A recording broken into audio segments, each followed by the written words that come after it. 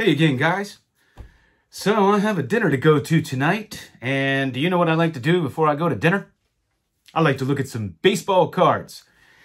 Man, I have uh, a few nice things to show you.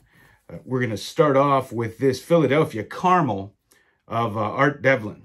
And it's just a beautiful little piece of art. Beautiful card. You know I love the E-cards. I show you a lot of them. Here we have a 1975 Topps Mini Rusty Staub. Great looking card. We have a top 70. Had to get this one. Josh Gibson. That's a beauty. Added two more to my 1958 Hires root beer set. We have uh, Don, um, Dick Groat with the tab.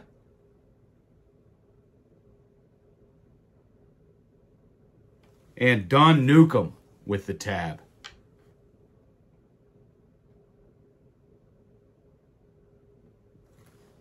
Got a 1958 Roy McMillan.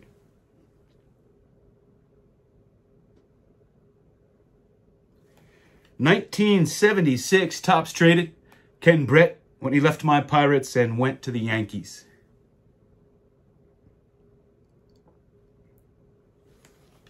We have a Sports Illustrated for Kids, Danielle Kang.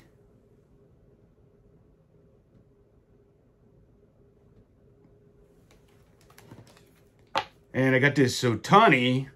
I got a bunch of these, but he makes a lot of Topps Now cards. Just having a killer year. And I showed you guys some signed Pirates photo kind of thingies.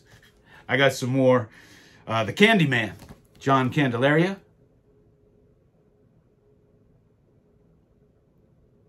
Really good picture for the Pirates. And here we have Dock Ellis.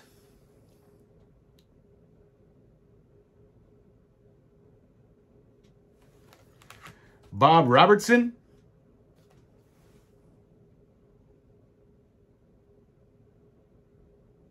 Actually hung out with him once. He was a, a doing some sales after uh, his career, and I had a meeting with him once.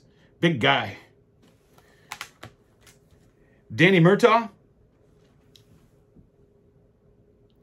Good manager for the Pirates. Kind of died suddenly, I guess, and that's when they brought in Chuck Tanner before winning the 79 World Series. Nellie Briles, I was actually on a committee with him, and he sold me my Pirates tickets. Got me a great deal. Great seats, too. My father would always use him as an example for me when I was growing up playing ball. Because when he would pitch, he would almost fall over. He would fall off the mound. And he just put everything into it. And so my father thought he was a good example for me. Jackie Hernandez, and he was the shortstop on that 71 World Series team. I believe he made the last out. I think he caught a pop-up in that series. Also filled in for Gene Alley that year to become the first all-black Latino lineup in history. And Bob Moose, he died suddenly, obviously suddenly, in a car crash, tragically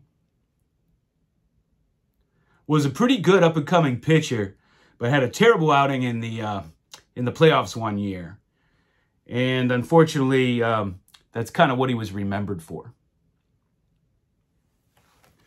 And I got this great Sports Illustrated with my man Willie Stargell. There are nice pictures of Clemente inside. I don't collect a lot of Sports Illustrated, but I collect some of the ones that I like. I used to uh, have a subscription when I was a little kid, and I would take all the uh, the covers, and one day I wallpapered my entire room, wall to wall, with Sports Illustrated covers. And back then, I remember it was like uh, Muhammad Ali and, uh, man, just every sport And who remembers the Cheryl Tiegs swimsuit edition? I had that hanging up on my wall. Although I put that uh, on the back door so you could only see it when I closed the door. So uh, I don't think my mother ever saw it. I had a very messy room when I was growing up and it was just covered with cards everywhere and posters and you name it, boxes of cards everywhere. So my mom didn't come in my room too often. uh, anyway, uh, that's what I have for you tonight. I'm going to go enjoy a, uh, a meal. Got a Chamber of Commerce dinner. So once again, thanks for watching.